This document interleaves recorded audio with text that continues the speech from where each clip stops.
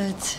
Değerli basın mensupları, kıymetli hemşerilerim, sizleri en derin muhabbetle, sevgiyle, saygıyla, hürmetle selamlıyorum. Bugün memleketim, baba ocağım Konya'da bulunmaktan duyduğum memnuniyeti dile getirmek istiyorum. Konya'ya her geldiğimde beni bağrına basan hemşerilerime, tüm Konyalı kardeşlerime teşekkürlerimi sunuyorum. Bugün bakanlığımıza bağlı bazı kuruluşlarımızı ziyaret etmek, çocuk kuruluş müdürlerimizi toplantımızı gerçekleştirmek için memleketimizdeyiz. Ayrıca Selçuklu Otizmli Bireyler Eğitim Vakfı'nın diploma törenine katılmak amacıyla da Konya'da bulunuyoruz. Konyalı hemşerilerimin destek ve hayır dualarıyla gücümüzü güç katıyor, gece gündüz demeden çalışıyoruz. Bu şehrin değerli yöneticileriyle Konya'mız için hayırlı ve güzel çalışmalara imza atacağımıza inanıyoruz. Değerli basın mensupları, şunu en öz, başta özellikle belirtmek isterim ki bizleri manevi iklimiyle sarıp sarmalayan, ecdat yadigarı bu kıymetli şehre hizmet etmek bizim için her zaman büyük bir onurdur. Sayın Cumhurbaşkanımızın açtığı yolda hizmet siyasetini sürdürmek, şehirlerimizi ihya etmek en büyük vazifemizdir. Yürüttüğümüz çalışmalarda en önemli amacımız toplumun tüm kesimlerine ulaşabilmek ve vatandaşlarımızın ihtiyaçlarını karşılayabilmektir. Bu kapsamda bakanlık olarak hizmet alanımıza giren her konuda toplumun tüm kesimlerini kapsayan bir anlayışla hizmetlerimizi sürdürmeye devam edeceğiz. Bu amaç doğrultusunda Konya'da vatandaşlarımıza dokunan pek çok yeniliğe imza attık. Şu an Konya'da 12 sosyal hizmet merkezimizle hemşehrilerimize hizmet sunuyoruz. ASTEP görevlilerimizle ihtiyaç ihtiyaçları yerinde tespit ederek hizmetlerimize vatandaşlarımıza ulaştırıyoruz. Böylece politikalarımızın güçlü bir uygulaması olan aile sosyal destek programımız Konya ile de 156 bin hanemize ulaştık. Finansal okuryazarlık ve kadınların ekonomik güçlenmesi seminerleri ile 26 bin kadına destek olduk. Ev tipi bakım modelleriyle hizmet verdiğimiz Konya'da 17 çocuk evinde 0-18 yaş arası 87 çocuğumuza devletin şemsiyesi altında koruma ve bakım hizmeti sunuyoruz. Bugün sosyal ve ekonomik destek SET programıyla aile bütünlüğünü koruyarak 1414 çocuğumuzun sağlıklı gelişmelerine katkı sunuyoruz.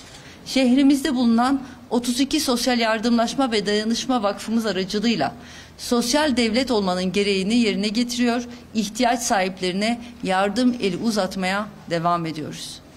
Engelli ve yaşlılarımızın toplumsal hayata etkin katılımını çok önemsiyoruz. Bu kapsamda Konya'da 3 bakım ve rehabilitasyon merkezinde 238 engelli ve yaşlı kardeşimize hizmet veriyoruz. Yaşlılarımızın hayata aktif katılımları için özel politikalar yürütüyoruz. Bildiğiniz gibi geçtiğimiz Mayıs ayında TÜBİTAK ile yaptığımız çalışma ile Türkiye'nin yaşlı nüfusunun son 5 yılda %21.4 oranında arttığı ortaya çıkmıştı. Ancak Konya doğurganlık oranı ile Türkiye ortalamasının üzerinde olan illerimizden biri. Ülkemizde genç nüfusun artması, doğurganlık oranlarının yükselmesi için özel çalışmalar yürütüyoruz. Bunun yanı sıra engelli vatandaşların aile bütünlüklerini muhafaza edecek şekilde bakımlarının evde yapılmasını önceliyoruz. Bu hizmetimiz doğrultusunda Konya'da evde bakım yardımından bugüne bugün 13.438 hemşerimiz faydalanıyor. Engelli vatandaşlarımızın hayata aktif katılımlarını sağlamak için işbirlikleri yapıyor. Bu alanda her türlü girişime ve projemiz, projelere destek oluyoruz. Türkiye'nin dört bir yanında kuruluşlarımıza engelli vatandaşlarımızın ihtiyaçlarını karşılamak için gayret ediyoruz. Bunun en güzel örneklerinden biri bugün burada ziyaret edeceğimiz Konya Selçuk'ta bulunan Sobe, Vakfımızdır. Bu vakfımız kurulduğu günden bugüne otizmli bireyler için çalışmalar yürüten bir kuruluşumuzdur. Bugün de Sobe Vakfımız ziyaret ederek çalışmalarını yerinde görme imkanımız olacak.